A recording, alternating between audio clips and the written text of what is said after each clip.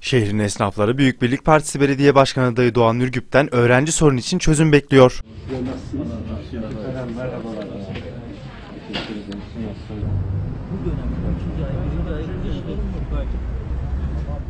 Büyük Birlik Partisi Belediye Başkanı adayı Doğan Ürgüp 31 Mart yerel seçimler öncesi esnaf ve vatandaşlarla bir araya gelerek Sivas'ın sorun ve sıkıntılarını dinliyor.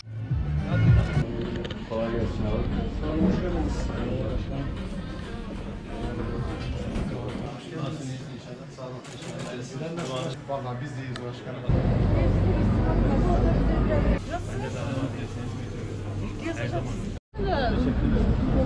Elhamdülillah fotoğraf çektireceğim sizinle. Face'e koyacağım. Kim çek? Teşekkür ederim. İstasyon Caddesi'nde faaliyet gösteren esnaflarla bir araya gelen Ürgüp, esnafların talep ve isteklerini dinledi. Hocam bir ricamız var size. Ya. ya şu yurtları götürdüler. Cadde bitti. Buna bir çözüm bulun. yani. Teşekkürler ister misin? Nasılsın başkanım? Teşekkür ederim. Sen nasılsın? İstasyon Caddesi'nde bulunan Milliyetçi Hareket Partisi Seçim İrtibat Bürosu'na nezaket ziyaretinde bulunan Ürgüp, geçmişte Ülke Ocağı Başkanlığı yaptığı dönemde beraber yol yürüdüğü arkadaşlarını yad ederek önemli olan dostluktur. Dostluklar baki kalsın dedi. Ben o zaman Ülke Ocakları Başkanıyım. Çocuk bahçesinde miting yapıyoruz. Yükselişli grubumuz, mavilerimiz. Kendilerine destek veriyoruz. Allah razı olsun. Özel daha değişti. Olsun arkadaşlık baki. Tabii çok var.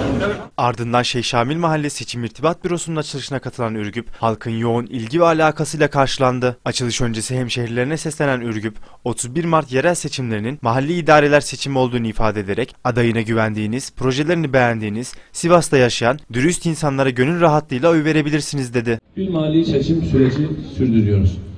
Bu seçim Sivas'ın seçimidir. Diğer vilayetler için o vilayetlerin seçimidir.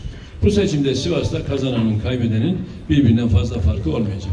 Dolayısıyla gönül rahatlığıyla beğendiğiniz adaya, projelerini beğendiğiniz, kendisini size takdim eden, tanıdığınız, inandığınız adaya oy verebilirsiniz. Burada bir sakınca ve sıkıntı yok değerli kardeşlerim.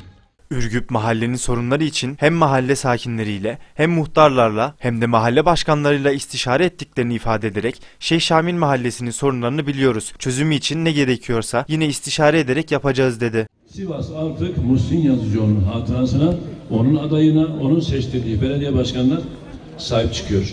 Bu çok önemli değerli kardeşler. Biz 5 senede neler yaptık, neler yapmadık bunun taktiğini hepiniz biliyorsunuz.